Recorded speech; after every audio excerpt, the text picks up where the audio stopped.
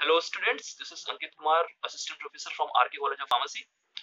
So last time we have discussed about the nucleophilic addition reaction of the carbonyl compounds and along with that we discussed about uh, aldol condensation reaction in which we have taken the example of uh, acetone है ना तो आज हम बात करेंगे चलिए ठीक है एक बार फिर से थोड़ा सा एल्डोल कंडेंसेशन को रिवाइज कर लेते हैं लास्ट टाइम हमने एल्डोल कंडेंसेशन एल्डोल कंडेंसेशन हमने बताया था कि एल्डोल कंडेंसेशन क्या होता है कि कोई इसमें अल्डिहाइड या कीटोन मॉलिक्यूल कंडेंस करते हैं, है ना?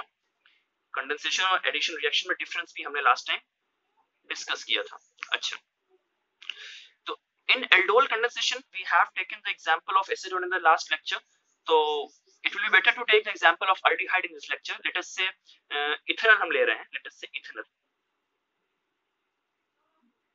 ethanol okay so again this ethanol will be in the presence of a base let us say sodium hydroxide this sodium hydroxide will abstract the proton from the alpha position as we have discussed in the last lecture तो ये base क्या करेगा यहाँ से H plus को निकाल लेगा जब H प्लस को निकाल लेगा तो यहाँ पे चार्ज कैसा आ जाएगा minus C H two minus तो ये मॉलिक्यूल अब कैसा काम करने लगेगा? एक न्यूक्लियोफाइल की तरह काम करने लगेगा, है ना? It will become a nucleophile तो this nucleophile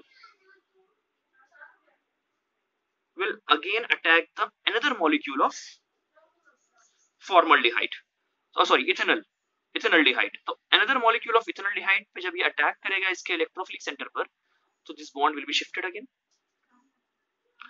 this bond will be shifted when this bond will be shifted what will happen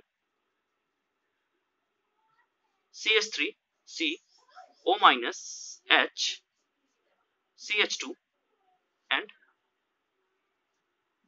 ch2 this will be the case now what will happen कि जब इस जिस base ने इस proton को abstract किया था that the same base will again the uh, will will donate the abstracted proton जो प्रोटॉन इस बेस ने लिया हुआ था, वो फिर से इस, वो प्रोटॉन इस मोइटी को वापस कर देगा। तो H प्लस जब इसको वापस कर देगा तो यहाँ पे O O minus H plus लेके ये क्या बन जाएगा? ओ OH बन जाएगा। तो दिस विल बी ये H प्लस ले लेगा। और क्या हो जाएगा? केस हो जाएगा हमारा CH3C OH H CH2 C double bond O this is what? This is alpha position, this is beta position and beta position पे आपको क्या है? Hydroxy H this compound is known as beta hydroxy aldehyde है ना this compound will be known as beta hydroxy aldehyde further what will happen to stabilize the structure OH minus from here will be lost and H plus from here will be lost तो OH minus जब निकलेगा यहाँ पे charge क्या आ जाएगा plus यहाँ से जब H प्लस निकलेगा तो यहाँ पे चार्ज क्या आ जाएगा माइनस प्लस माइनस ये will be the double bond CH3 CH double bond CHO so this is what this is alpha this is beta alpha beta के बीच में क्या है अनसैचुरेशन तो क्या बोलेंगे alpha beta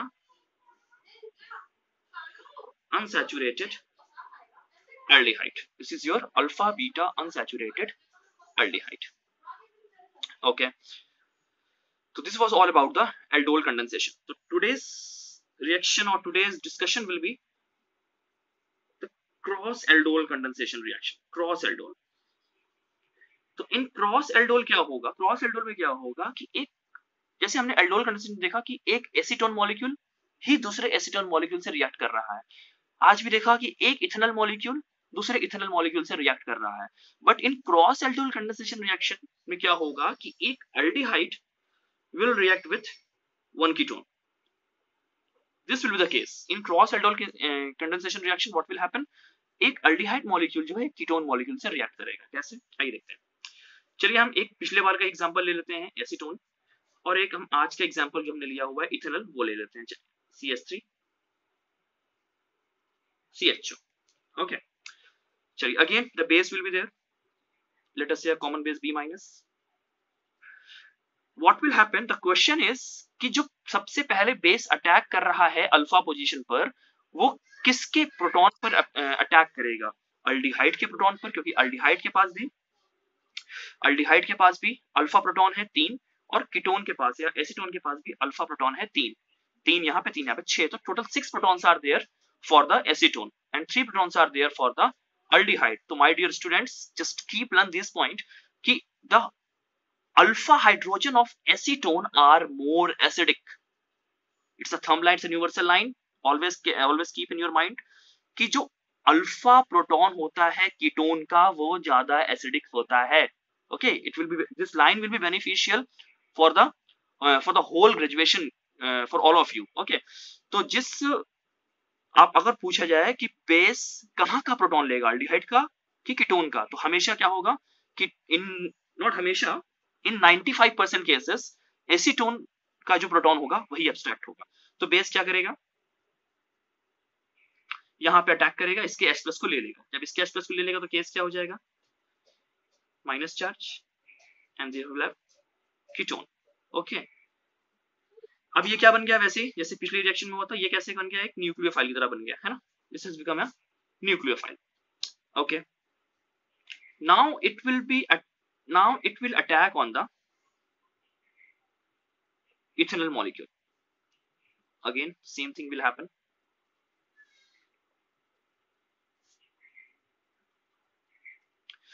the case will be cs3 c, o minus H CH2 C, O CH3 then what will happen? जो base ने प्रोटॉन एब्स्ट्रैक्ट किया था that base will again donate its proton तो ये H प्लस को ले लेगा and the case will be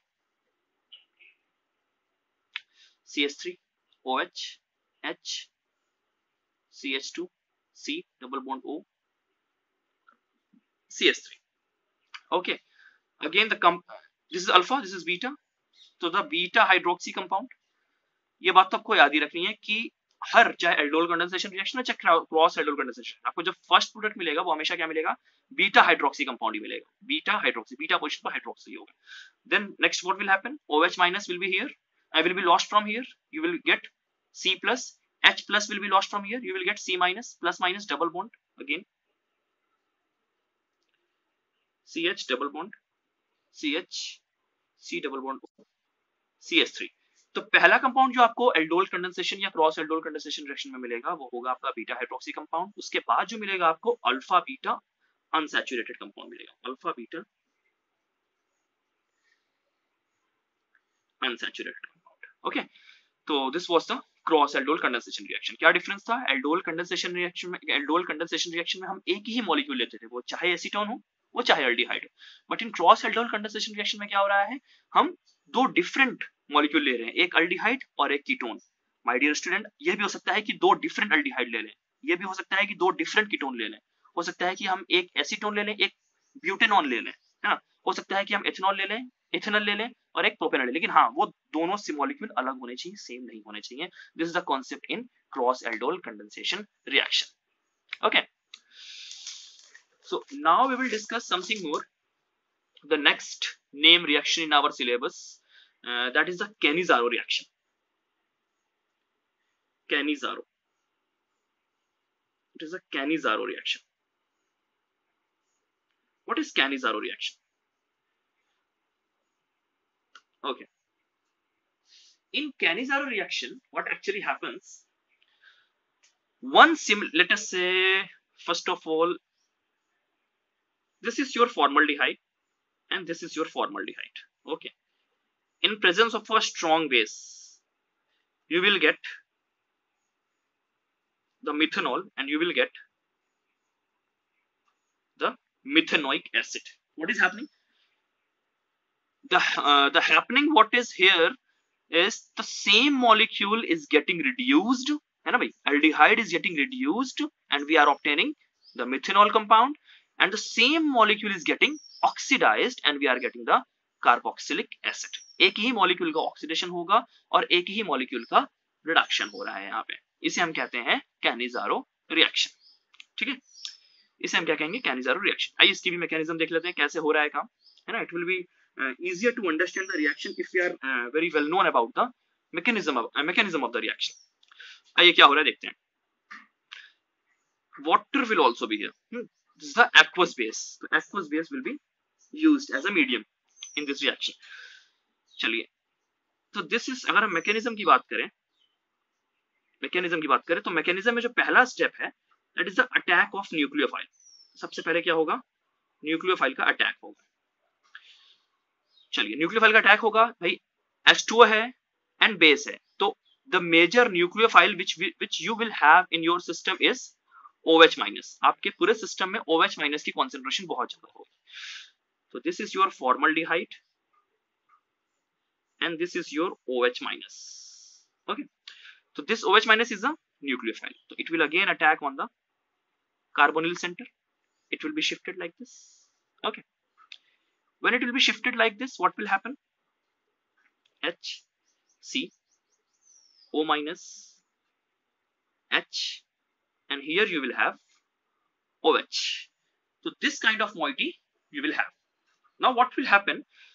This minus charge or the, this lone pair of electron will be come back to make this double bond okay देखिए जब ये double bond बना लेगा तो ये दो बॉन्ड ये एक तीन एक चार एक पाँच कार्बन की वैलेंसी फाइव हो जाएगी विच इज़ नॉट पॉसिबल इसीलिए क्या होगा कि ये बॉन्ड भी शिफ्ट हो जाएगा ऐसे देन व्हाट जब ये बॉन्ड ऐसे शिफ्ट हो जाएगा तो इसके lone pair of electron hydrogen पे आ जाएँगे।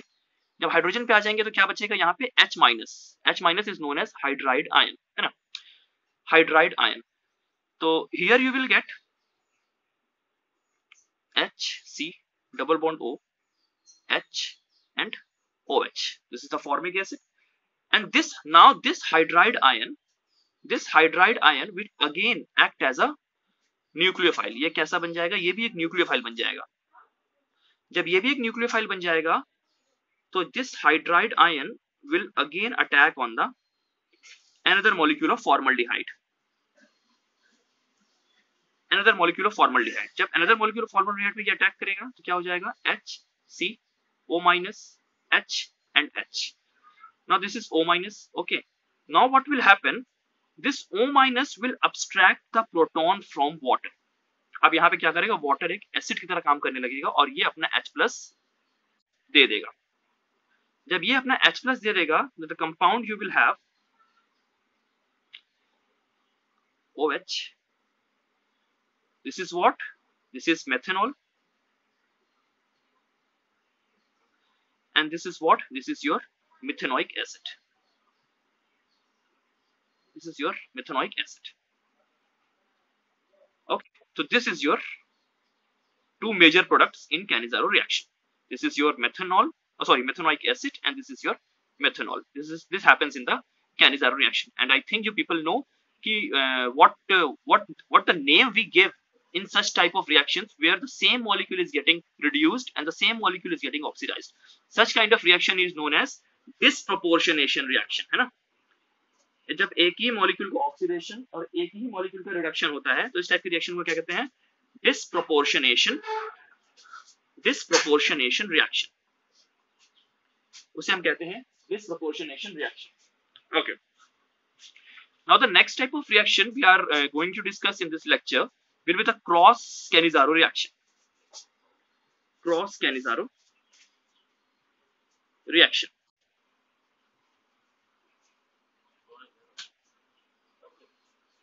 Cross Cannizzaro reaction.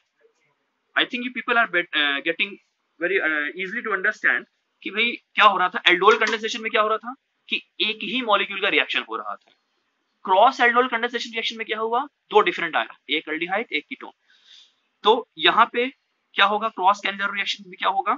In cross Cannizzaro reaction you will have two different aldehyde one one more important thing which I just miss to tell you I am very sorry about it that the Cannizzaro reaction will always take place in those aldehydes in which alpha hydrogen is absent important point very important point alpha hydrogen will be absent in this case.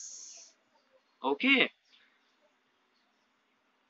Aldol and cross aldol condensation का क्या important था? Importance था कि उन दोनों में alpha hydrogen होना चाहिए।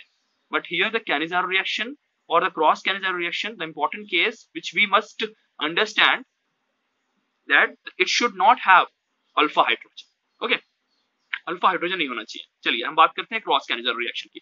चलिए, हम कोई दो ऐसा अल्डिहाइड ले रहे हैं जिसमें अल्फ़ा हाइड्रोजन नहीं है। चलिए मैं ले रहा हूँ एक benzaldehyde this is your benzaldehyde in which you will have no alpha hydrogen and another we will take the methanal aldehyde और the formaldehyde in both cases you will have no alpha hydrogen तो the product which you will get from this reaction will be the you will get the benzyl alcohol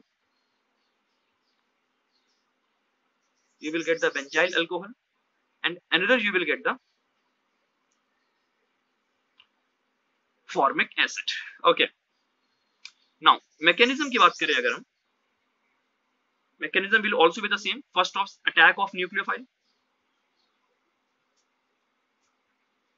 attack of nucleophile first step your nucleophile will be OH minus now the question is कि ये OH minus किस electrophilic centre पर attack करेगा इसके electrophilic centre पर कि इसके electrophilic centre पर the answer is the formaldehyde is more elect I mean that this electrophilic center is more electrophilic in nature as compared to the uh, benzaldehyde.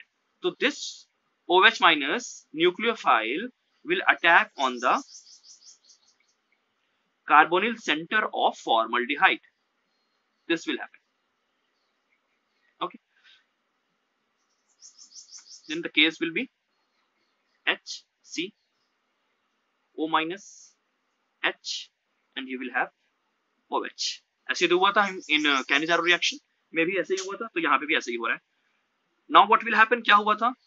कि ये जो लोन पेयर था, वो वापस आया था। फिर क्या हुआ था? ये हाइड्राइड शिफ्टिंग हुई थी। हाइड्राइड बना था यहाँ से।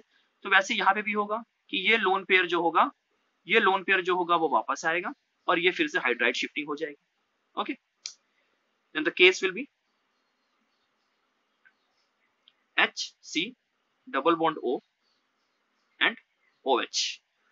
Now what will happen? This hydride ion, this hydride ion now will attack on the benzaldehyde. Benzaldehyde पे ये attack करेगा. Then the case will be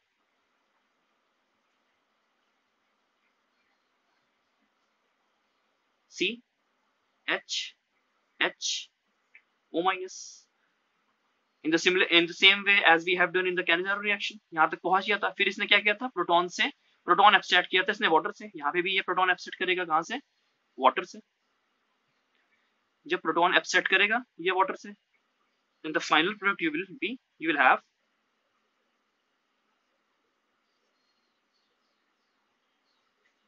sorry I'm just changing the page. The final product which you will have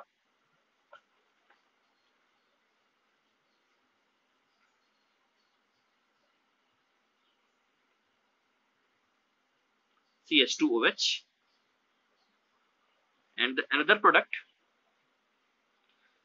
you will have HCOOH the formic acid this is the final product and this is the mechanism. Okay I hope this lecture will be uh, helpful for preparing your uh, for preparing your examination. And this is your final product. Okay thank you